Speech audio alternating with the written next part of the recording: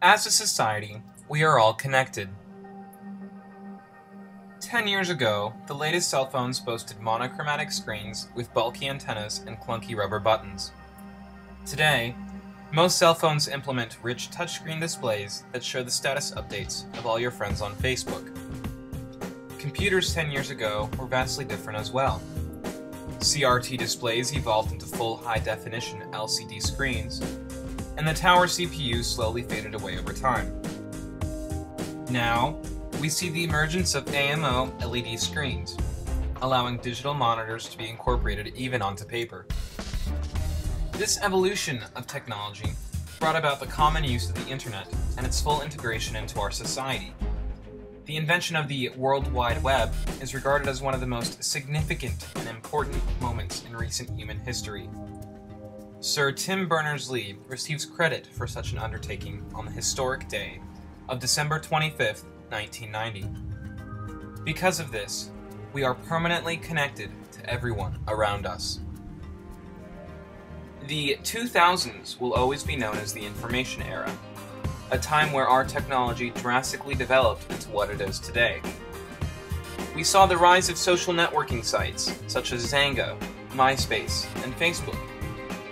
While Xanga and MySpace both came into and went out of style, Facebook has remained the main social networking site that connects friends, old and new. Launched on February 4th, 2004 by Mark Zuckerberg, Facebook was only open to students at Harvard University. Now, over 400 million people use Facebook worldwide, and it is ranked as the second most visited site on the internet, behind the supergiant Google. While it has been used to help people remain close to each other, it has brought around issues of privacy and movements in social interaction. People no longer call each other to say hello, but the norm now is to check a friend's Facebook status, or to use Facebook chat. With social networking sites being integrated into every electronic device, people are always within one touch on a phone away. If you go outside and walk down the sidewalk, look at the cars that drive by and the people around you that walk by. Most likely, the majority of people you see will be talking on the phone, texting, or simply reading a message on their electronic device. Gone are the days of meeting new people at bus stops and small talking away into friendship. Now, we simply text a relationship into existence. But have social networking sites changed the way we communicate for the better, or for the worse? The internet inherently gives a false sense of security for whoever uses it. It is a veil between any given two people who are communicating. For example, a mature teenager may not act aggressively when with friends. However, when he or she plays an online game, expletives and hurtful dialogue may come from the teenager. The internet allows for people to act unlike themselves, allowing for a different personality to emerge. This practice may inevitably follow one into real life and social interactions that do not take place at the internet. The advancement of technology has allowed us to sync devices together organize calendars, store contact information for friends and family, and to drive along through unfamiliar roads with the aid of a GPS. Many say that the information era has led us to a mass addiction to technology and information overload.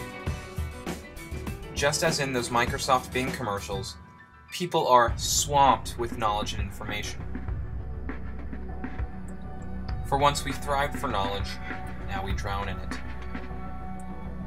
Wikipedia, the free encyclopedia for everyone, started out with only a handful of articles, and now prides over a whopping three and a quarter million articles. And that is only from the English language. Google started up a mere 12 years ago, and in those 12 years has become a multinational cloud computing and search technologies corporation, and is the most visited website on a day to day basis.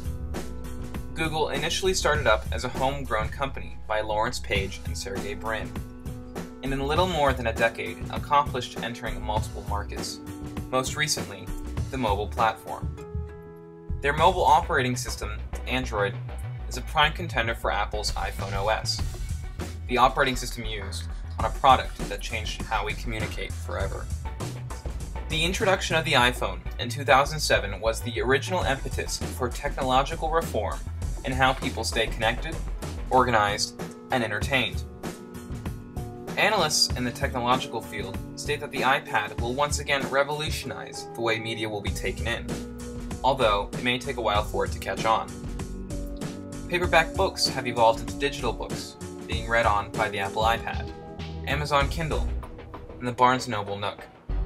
Photo albums have been replaced with the digital web sharing sites mediums such as iPhoto, Windows Photo Gallery, Flickr, and PhotoBucket.